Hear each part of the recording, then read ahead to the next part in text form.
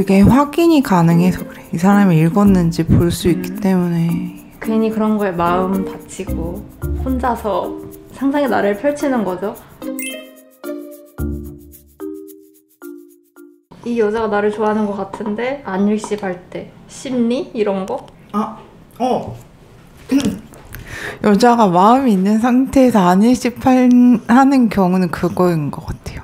전화에 네? 전화 유도거나 뭔가 토라진 게 있을 때 나 삐졌어 이런 느낌. 어 약간 밀당 같은 거네요. 어 나 바빠서 못 봤어 이런 거 있잖아. 밀당일 것 같아요. 음, 그러니까 서로 맞네. 호감은 썸 이상인 관계다. 근데 이 여자가 안일십을 한다. 그러면 그냥 귀여운 밀당이라고 생각하면 될 것 같아요. 그럴 땐 그냥 전화하면 돼요. 그럴 수도 있겠네요. 김대리 생각은? 이럴 때 전화 받으면은 받아서 확인해 보면 알 수 있을 것 같고 전화도 안 받는다. 그러면 진짜 바쁜 상황이 생긴 거 아닐까요? 음. 호감이 있는 사이라면 서로 쌍방간에. 네. 근데 한쪽에 일방인 상황에서 안일십하는 여자 심리는 그냥 대화하기 싫어서 음, 안일십이 한 몇 시간 다음 날까지도 갈 수 있겠죠. 내가 아는 사람이 그런 말을 했었어. 일십보다 안일십이 기분이 나쁘니까 안일십을 한다.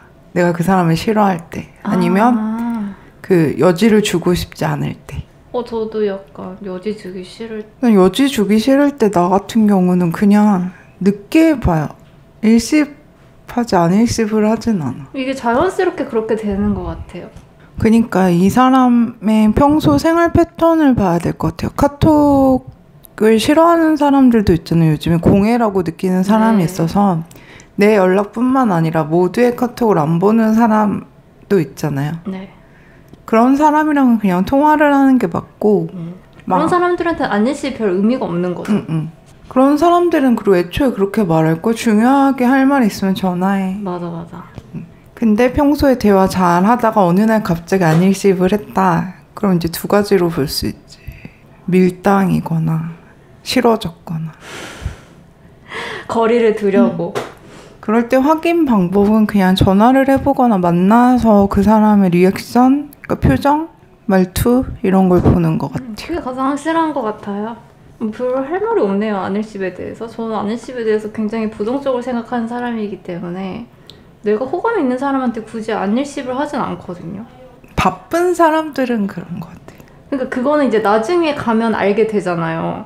이 사람이 왜 안일십을 했는지. 그 상대가 안일십을 해. 그럼 안 보내면 돼. 어, 답장이 올 때까지 안 보내면 돼. 응, 안 보내면 돼. 신경 끄면 돼. 그럼 그러니까 물론 안, 한- 안 온다? 며칠 지나도? 그러면은 이제 연락 안 하면 되죠. 그래서 사실 안일십 일십으로 호감을 판단하기는 되게 어려운 것 같아요. 상황에 따라 다르고 사람의 그 소통 방식에 따라서 다른 면도 있다 보니까.